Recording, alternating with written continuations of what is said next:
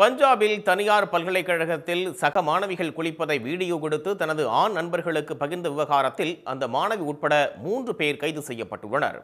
பஞ்சாப் மாநிலம் மொஹாலியில் உள்ள தனியார் பல்கலைக்கழகத்தில் மாணவிகளை சக மாணவி ஒருவர் ஆபாசமாக படம் பிடித்ததோடு ஆண் நண்பர்களுக்கும் அனுப்பியதாக புகார்கள் எழுந்தது. அந்த வீடியோக்கள் சமூக வலைத்தளங்களிலும் வெளியானதாக கூறி இரண்டு நாட்களாக மாணவ மாணவிகள் போராட்டத்தில் ஈடுபட்டுள்ளனர். நேற்று நள்ளிரவு வரை மாணவ மாணவிகளின் போராட்டம் தொடர்ந்தது. விரைந்து அங்கு சென்ற போலீசார் இது குறித்து விசாரணை மேற்கொண்டனர். அதில் மாணவி ஒருவர் தாம் எடுத்த அந்த அந்தரங்க வீடியோக்களை ஹிமாச்சல் பிரதேச மாநிலம் சிம்லாவில் உள்ள இரண்டு இளைஞர்களுக்கு அனுப்பி வைத்ததும் அவர்கள் அவற்றை சமூக வலைத்தளங்களில் பதிவேற்றம் செய்ததும் உறுதி செய்யப்பட்டது. இதனால் மாணவ மாணவிகளின் போராட்டம் உக்கிரமடைந்தது. இதைத் தொடர்ந்து அந்த மாணவியை போலீசார் கைது செய்தனர். அவரது வீடியோவை பெற்ற சிம்லாவைச் சேர்ந்த இரண்டு இளைஞர்களையும் போலீசார் கைது செய்துள்ளனர்.